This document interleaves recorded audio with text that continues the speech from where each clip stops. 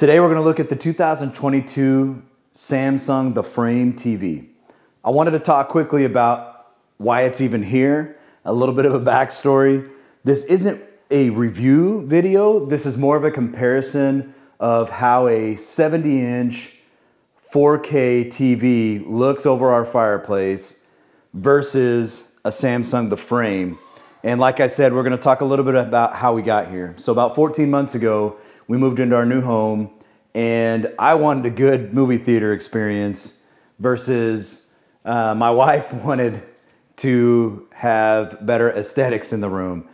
Well, one day I showed up at the house with a 70 inch TV and I hung it up above the fireplace and she absolutely hated it. and so it was definitely not what she wanted, but she tolerated it for these past 14 months.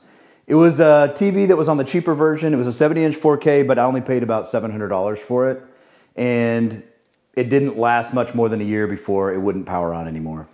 And so when it died, my wife told me we are taking the TV down and another one is not going up.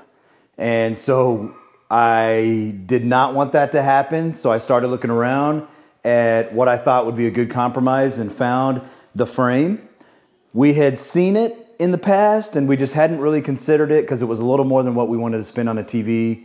But if it meant not having a TV on the wall versus getting to have one on the wall, I wanted to take a deeper look at the frame. And so I decided to look around for a minute, realized that at CES this year, they launched the 2022.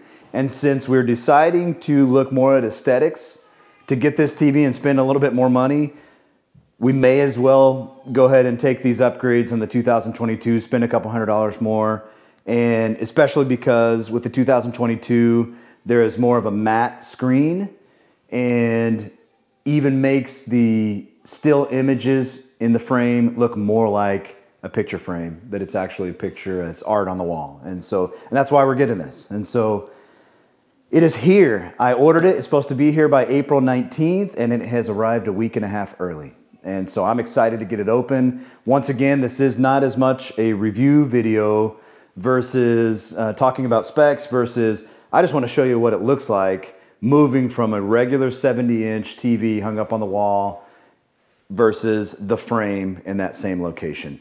So that's a 70 inch 4K. This is a, we went with a 65 inch, the frame. So we'll take a look at it. All right, after a little bit of a battle, I was able to get the TV up.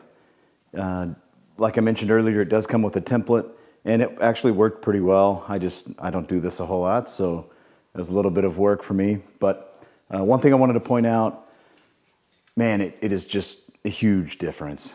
Uh, this space looks completely different. The art mode is pretty awesome, and it looks great in this room.